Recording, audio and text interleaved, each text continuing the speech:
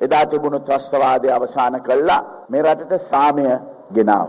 මේ සාමය හින්දා මේ සෑම කෙනෙකුටම බියක් සැකක් තොරව රටේ ජීවත් වෙන්නට අවස්ථාව අපි සලසලා දුන්නා. අපි එදා ත්‍රස්තවාදය අවසාන කරාටත් වඩා අපේ ජයග්‍රහණය තියෙන්නේ පශ්චාත් යුද සමයේ මේ රටේ සංවර්ධනය. අපි මුළු රටම එදා යුද්ධයෙන් විනාශ වෙලා තිබුණු උතුරු ප්‍රදේශය, නැගෙනහිර ප්‍රදේශය, අනිත් ප්‍රදේශ වගේම අපි සංවර්ධනය කරා.